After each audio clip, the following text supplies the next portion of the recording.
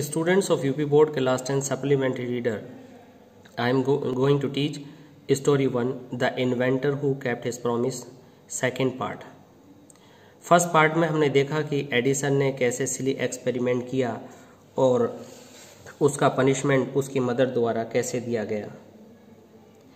अब हम यहाँ पर एडिसन के दूसरे एक्सपेरिमेंट्स की बात करते हैं।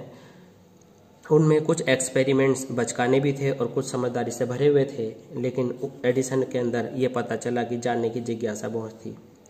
एक बार एडिसन अपनी मदर के साथ पोल्ट्री फार्म में गए। पोल्ट्री फार्म वह जगह होती है जहाँ पर मुर्गियाँ पाली जाती हैं और अंडों का व्यवसाय किया जाता है। उन्होंने वहाँ पर एक मुर्गी को देखा जो अंडों पर बैठी हुई थी।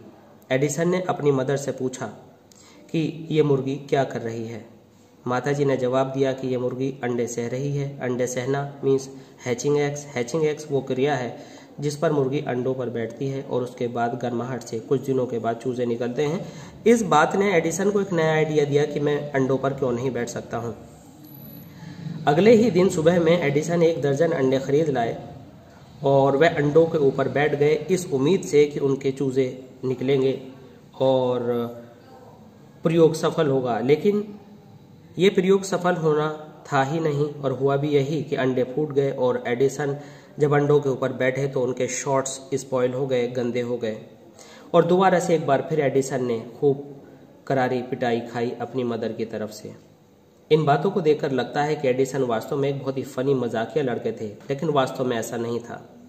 उन्होंने गंभीर एक्सपेरिमेंट्स किए, लेकिन परिणाम थोड़े हास्यास्पद आए, लेकिन एक्चुअली वो फनी नहीं थे।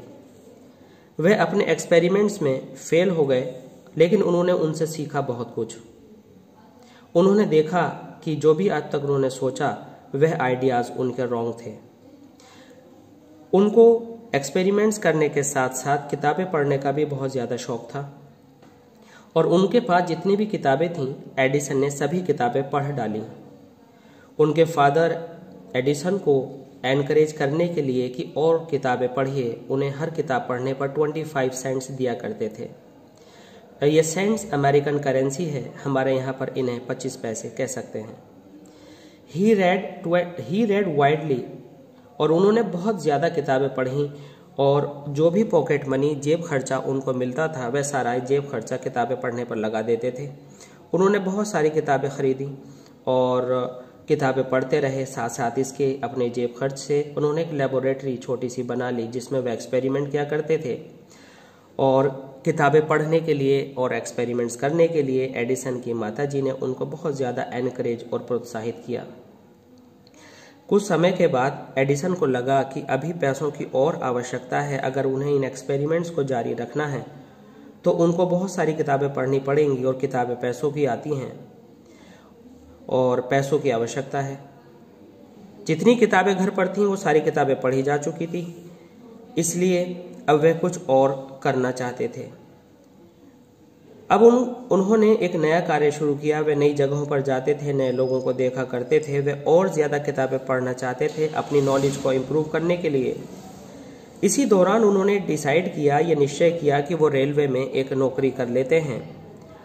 और जब उन्होंने अपने माता पिता को इस बात को बताया कि वे रेलवे में नौकरी करना चाहते हैं तो शुरू में तो उनके माता पिता ने इस बात को स्वीकार नहीं किया।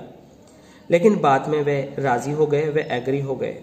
जब एग्री इसलिए हो गए क्योंकि एडिसन ने काफ़ी गुड रीजंस अच्छी रीजंस उनको दिए कि वे नौकरी क्यों करना चाहते हैं। यह बात उनके माता पिता को अच्छी लगी और उन्होंने कहा कि ठीक है, जाओ, कर सकते हो, नौकरी। अब एडिसन एक न्यूज़पेपर बॉय बन गए। न्यूज़पेपर बॉय वो होता है जो न्यूज़पेपर को डिस्ट्रीब्यूट करता है डोर टू डोर या सेल करता है किसी रोडवेज़ में, किसी रेलवेज में। अब वो क्या करते थे? उन्होंने ही न्यूज़पेपर्स को डिस्ट्रीब्यूट करने का सेल करने का काम शुरू कर दिया ट्रेन में। और ये ट्रेन डेट्रोइट तक जाया करती थी। उन्होंने बहुत सारे न्यूज़पेपर्स बेचे। न्यूज़पेपर्स के साथ साथ थोड़ी और अर्निंग बढ़ाने के लिए उन्होंने फल बेचे। और पहली बार में उन्होंने दो डॉलर कमाए।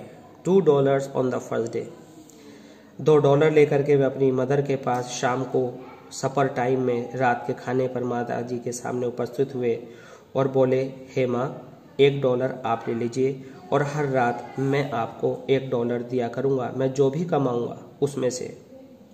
इस तरह से एडिसन ने अपनी मदर से एक वादा किया था कि मैं आपको हर रात एक डॉलर दूँगा और उन्होंने एक डॉलर हर रात जो भी कुछ कमाया से दे करके अपना वचन निभाया।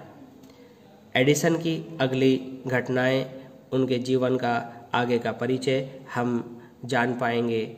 Part third, story one. Next video में। थैंक्स।